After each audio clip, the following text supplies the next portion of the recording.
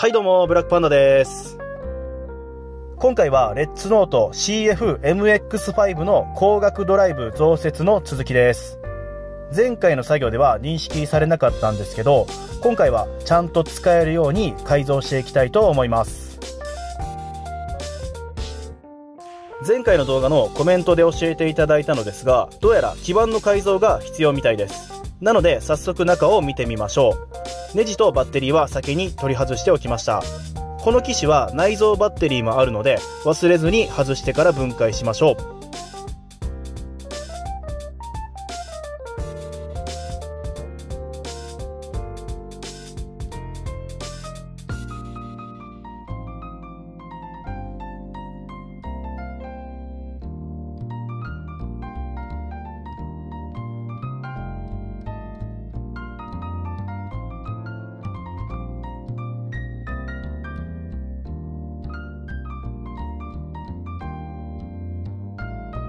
はい、マザーボードを取り外しましたが、どこにどの部品を取り付けていいのかわからないので、今回はドナーを用意しました。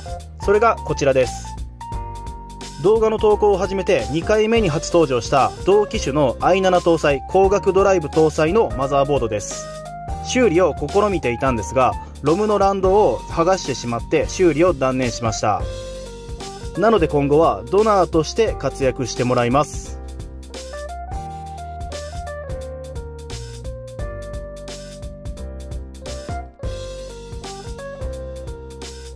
それで乗せ替えていく部品なんですが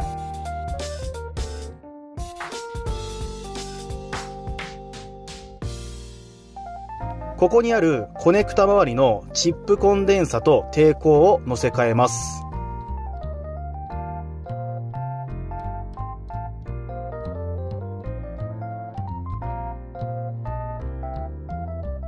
作業中にチップ抵抗が行方不明になっててんやわんやしてましたけど、その部分はカットしました。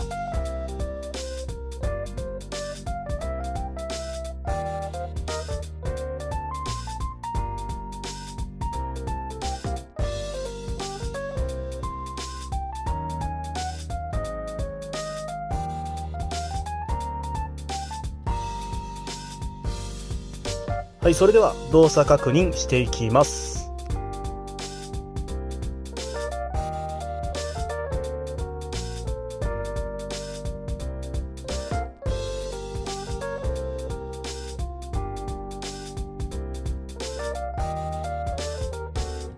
今バイオスを確認しているんですがディスプレイの下に光学ドライブの設定の欄が出ています。こちら認識されていないと何も表示されないんですけど今は出ているのでどうやら認識されているんだと思います。起動させた時に光学ドライブの電源をオンにするかオフにするかの設定なんですが今はオンにしておきます。はい次の詳細の項目ですがこちらでもちゃんと光学ドライブが出ていますね。BIOS 上では認識されているようです。次は Windows を立ち上げて認識されているか見ていきましょう。エクスプローラーのデバイスドライブのところに DVD ドライブが出てないですね。次はデバイスマネージャーを確認します。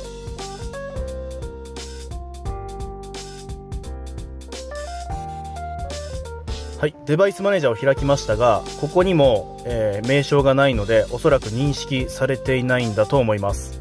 この後いろいろ試して、BIOS のアップデートなんかもやったんですが、やっぱりダメでした。今回 BIOS では認識したんですけど、Windows 上では認識されませんでした。イジェクトボタンを押しても反応がないので、おそらく DVD ドライブに電源が来てないんだと思います。なので今回もちょっと荒っぽいんですが、コネクタの電源ラインだろうというところに CPU ファンから 5V をつなげてみました。結果はイジェクトボタンが反応するようになって、なんと電源投入時にスピンドルモーターが回転するようになりました。しかし相変わらず Windows 上では認識されません。おそらくデータの送受信ができていないんだと思って、こちらもね、適当にちょっとつなげてみたんですけど、やっぱりダメでした。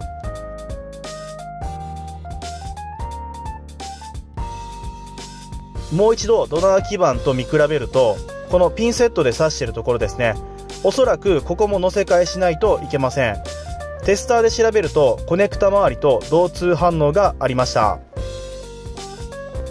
ここで載せ替えた部品の測定値を紹介しておきます。正しく計測できているかわからないので参考程度にお願いします。あと名前のわからない部品もあったのでもし真似される方は自己責任です。さらっと流すので気になる方は一時停止してご覧ください。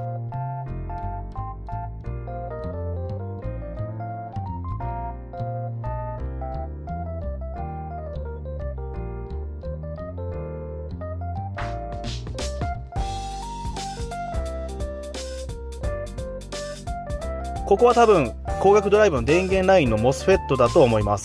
この3つはちょっとよくわからなかったんですけどパナソニックデジタルトランジスタで調べるとこの左下の XD っていう同じような部品が出てきたので多分そうだと思います。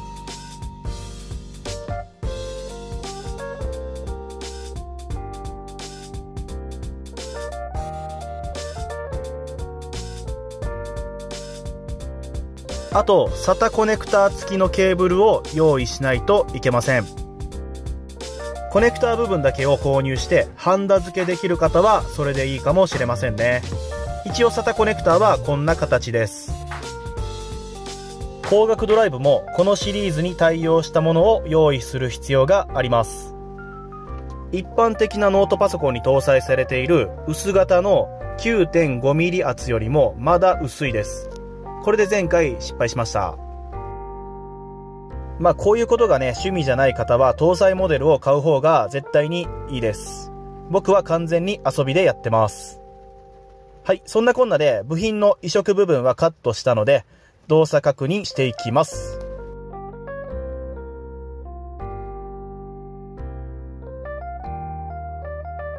ちなみに起動時にモーターの回転音がありました。はい、イジェクトボタン反応 OK ですね。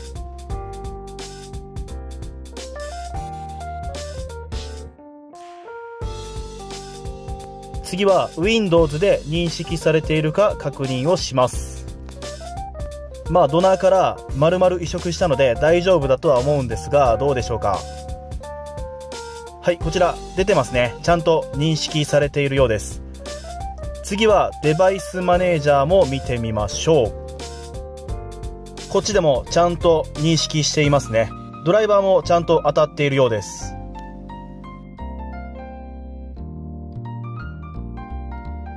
今は DVD を入れて再生確認をしていますが、ちゃんと見れますね。大丈夫そうです。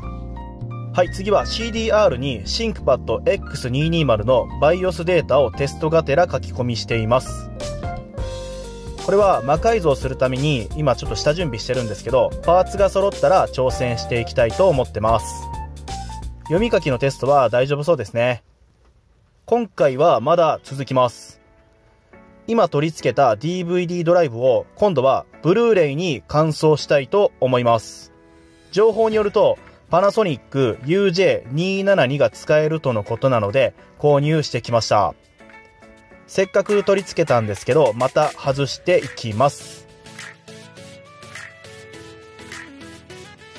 そのままでは取り付けできないので、まず、ブルーレイ側の外装を外します。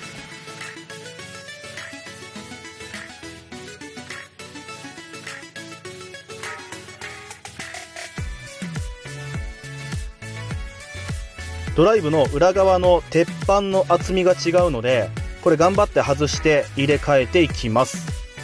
レールから外していくんですが爪がついているので少し持ち上げて引き抜いていく感じです。これ両方ついてるんで反対側も同じようにやっていきましょ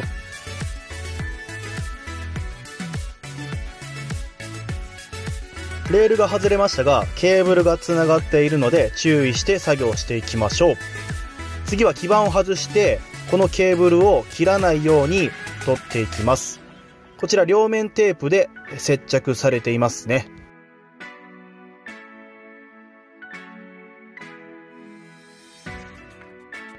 はい、取れました。そんなに難しくない作業ですね。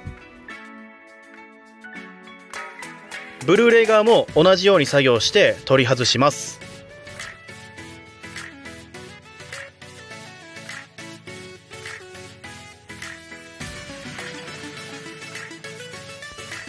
外せたら、あとは乗せ替えるだけなんですが、基板の大きさが違うので、少し加工をしないといけません。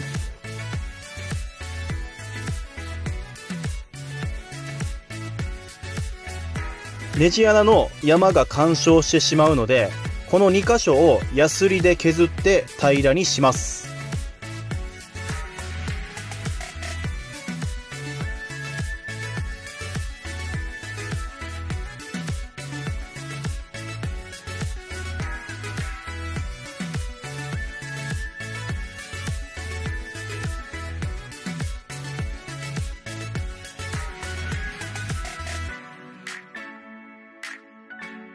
削れたら基板を乗せるんですが、こちらネジでの固定はできないので、両面テープか何かで固定させることになります。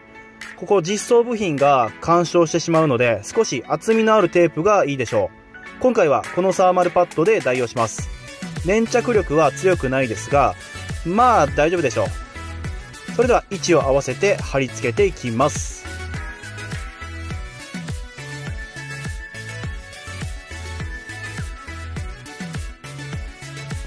基板が固定できたら、ケーブルもしっかり貼り付けておきましょう。ここが浮いちゃうと、後でそのトレイの出し入れの時に引っかかってしまいます。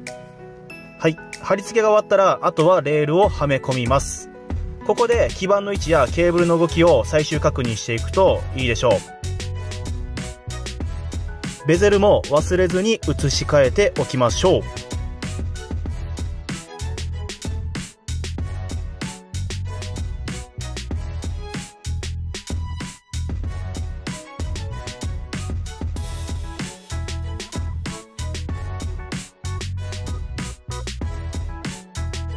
隙間なく綺麗にはまりましたね。